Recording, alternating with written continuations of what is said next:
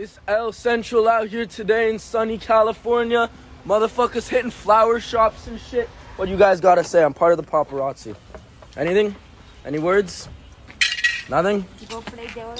No words? Damn, homie. You fucked your shit up.